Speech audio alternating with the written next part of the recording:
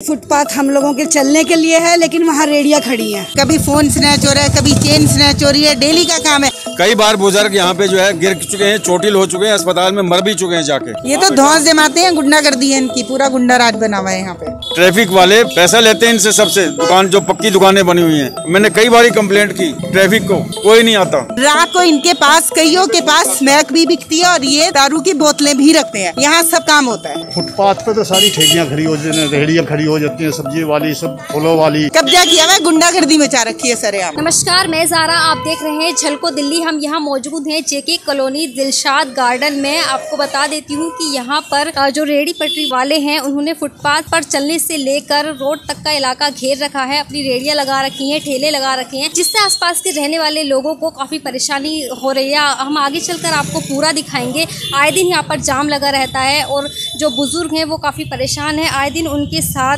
हादसे की घटनाएँ होती रहती हैं। यहाँ के लोग कई बार शिकायत कर चुके हैं लेकिन पुलिस प्रशासन और एमसीडी वालों ने इस पर कोई ध्यान नहीं दिया है ना ही इसको लेकर अभी तक कोई एक्शन हो पाया है। तो यहीं के लोगों से बातचीत करके हम आपको पूरा दिखाते हैं। क्या नाम है सर आपका? यश यादव है। तो यहाँ क्या परेशानी आ रही है आपको? फुटपाथ पे तो सारी ठेलियाँ खड़ी हो जाती है रेहड़ियाँ खड़ी हो जाती है सब्ज़ी वाली सब फलों वाली और चाट पकौड़े वाली। सड़क पे गाड़ियाँ खड़ी होती है टू व्हीलर है फोर व्हीलर है। जाने आने जाने का रास्ता सब क्लोज हो जाता है। इन लोगों का रोज का है ये? हाँ डेली का है ये प्रशासन तक इसकी शिकायत पहुँच चुकी है। कई बार शिकायत हो चुकी है। प्रशासन को नहीं दिखाई देता। पुलिस ने आकर इनको यहाँ पे जगह खाली नहीं कराई। दवाई भी है लेकिन फेल लग जाती है। फुटपाथ हम लोगों के चलने के लिए है लेकिन वहाँ रेडिया खड़ी है। अब रेडियो पे खाने के लिए यहाँ पे पार्किंग की फिर लाइन लग जाती है। तो कैसे चले? कैसे सेफ्टी रहेगी? अच्छा पुलिस का आना जाना तो लगा रहता होगा इस इलाके में? हाँ लगा रहता है। वो भी हमारे सामने उनको डांट के चले जाते हैं उसके बाद कुछ नहीं। एज इट इज़ अगले दिन फिर वही सर एक बार बीच में हम लोगों ने हटवा दिया था पूरा। ये तो तब हालत है जब सुप्रीम कोर्ट ने हाई कोर्ट ने ऑर्डर्स भी दिए हुए हैं। यहाँ की लोकल पुलिस एमसीडी सब मिले हुए हैं। तो पुलिस को इससे क्या फ़ायदा हो रहा है? पैसे लेते हैं। इतनी स्नैचिंग होती है कभी फ़ोन स्नैच हो रहा है कभी चेन स्नैच हो रही है डेली का काम है। और तो और इन्होंने ये जो पार्क है इनका सामान रेडी पटरी का पार्क के अंदर भी रहता है। रात को इनके पास कईयों के पास स्मैक भी बिकती है और ये दारू की बोतलें भी रखते हैं। यहाँ सब काम होता है। कब्जा किया हुआ गुंडागर्दी मचा रखी है सरेआम। और दूसरा एक आदमी की एक रेडी नहीं है। यहाँ पे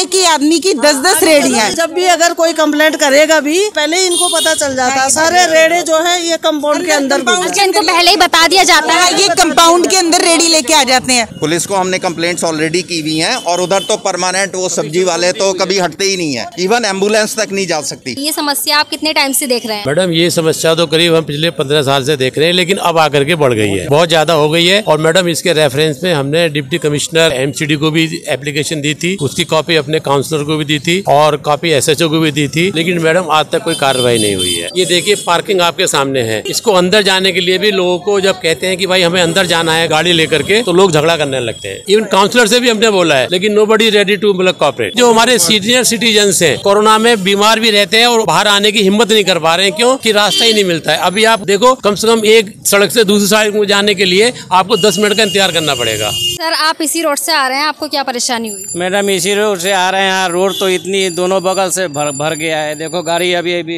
आदमियों के बीच में खड़ा है। चलने की भी जगह नहीं है बिल्कुल ही। अच्छा सर ये आपकी रेडी लगी हुई है? अच्छा तो ये तो रोड तक जा रही है। तो इसकी परमिशन किसने दिया आप लोगों को? मतलब पूरा आगे तक ऐसे ही है तो इसकी परमिशन है आपके पास? परमिशन कुछ नहीं है हम तो पीछे सब लोगों ने हटा के लगा दी कहाँ आगे लगा ये आपकी शॉप है?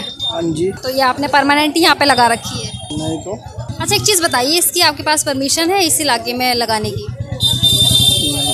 क्योंकि ये रोड तक जा रही है लोगों को परेशानी हो रही है रहने वालों को जाम लगा रहता है बच्चे नहीं निकल पाते। नहीं पटरी पे लगा रखी है तो। नहीं ये तो फुटपाथ वाला एरिया है तो ये लोगों के चलने के लिए होता है। आगे रोड पे धोंडा लगा रखी है। नहीं मैं पूरा वहाँ से कवर करती हुई आ रही हूँ। रोड तक लगी हुई है शिकायत है इसकी। तो आप ये बताइए कि इसकी परमिशन है आगे तक लोगों के पास? नहीं तो। अच्छा परमिशन नहीं है? नहीं कभी पुलिस ने आपको टोका कि इस एरिया में मत लगाओ या ऐसे एरिया में लगाओ जहाँ लोगों को परेशानी ना हो। हटा देंगे यहाँ से। जिसे परेशानी हो हटा देंगे। अच्छा सर ये लोग तो बोल रहे हैं कि हमें जब हटाएँगे हट जाएँगे। कई बार अप्रोच किया इनको मगर नहीं हटे। पुलिस को भी कहा। ये तो धौस जमाते हैं गुंडा कर दिए इनकी पूरा गुंडा राज बना हुआ है यहाँ पे। सर ये जो आपने मतलब लगा रखी है कब से लगा रहे हैं आप ये दुकान यहाँ पर? अरे मैंने नहीं लगाई ना। अच्छा आप फेस तो मत छुपाइए आपका फेस तो पहले से ही इधर है। सौदा ले रहे हो। ले टोकरी। तो देखा आपने बोलने को तैयार नहीं है। इनको पता चल चुका है कि हमसे इनसे यही क्वेश्चन करने वाले हैं किसने परमिशन दी है कब से लगा रहे हैं रोड पर क्यों लगा रहे हैं? मैं दीदी यहाँ पे लगा रहा हूँ चार साल तो ये तो रिहायशी एरिया है और रोड तक आपने लगा रखा है इसकी आपने परमिशन ले ली? आगे से दीदी आपको ये कंप्लेंट नहीं मिलेगी हम पीछे कर देंगे। ये बताइए इससे पहले पुलिस ने आके आपको कभी टोका इस चीज़ के लिए? हाँ एक आध बार टोका पहले पीछे भी कर रखा था इन वजह से ये पीछे वो पीछे ये एक दो ठेला भी आगे आ गया है पहले कभी ऐसा नहीं हुआ था। हटाया भी था लेकिन यहाँ पे आगे पीछे मानते नहीं है फिर आगे आ जाते हैं। ट्रैफ़िक वाले पैसा लेते हैं इनसे सबसे दुकान जो पक्की दुकानें बनी हुई हैं। मैंने कई बार कंप्लेंट की ट्रैफ़िक को कोई नहीं आता। नॉर्मली हमारा गाड़ी कहीं खराब हुई मेन रोड पे हो गया तो फटाफट पुलिस वाला आता है। क्यों आता है? इधर क्यों नहीं है? ये जो क्वेश्चन है इनका पुलिस वाले से यो उल्टा उल्टा जवाब दे देते हैं फिर। बोले मैं हमारा काम नहीं है एमसीडी का काम है। एमसीडी में गया तो बोलता है जो दिल्ली गवर्नमेंट का काम है। दिल्ली गवर्नमेंट का काम है। तो आप खुद अंदाज़ा इस बात का लगा सकते हैं कि हमारा सिस्टम कितना खराब है। लाख शिकायत करने के बाद भी कोई एक्शन नहीं होता है जबकि लोग यहाँ पर अपने बच्चों को भेजने से कतराते हैं कि कोई हादसा ना हो जाए और बुज़ुर्गों के साथ तो आए दिन हादसे होते रहते हैं। रेडी वालों का भी यही कहना है कि उनको इस चीज़ के लिए नहीं टोका रोका जाता है। लोगों का कहना है कि यहाँ पुलिस की और इन लोगों की मिली भगत है। पुलिस को पैसा दिया जाता है, तभी यहाँ पर कोई एक्शन इस चीज़ का नहीं लिया जा रहा है। इस पर आपकी क्या राय है? हमें कमेंट सेक्शन में ज़रूर बताएँ। इस वीडियो को ज़्यादा से ज़्यादा शेयर करें ताकि ज़्यादा लोगों तक ये पहुँच सके और यहाँ के लोगों को इस भीड़ भाड़ से, इस परेशानी से राहत मिल सके। कैमरामैन वेदांत के साथ, मैं जारा झलको दिल्ली।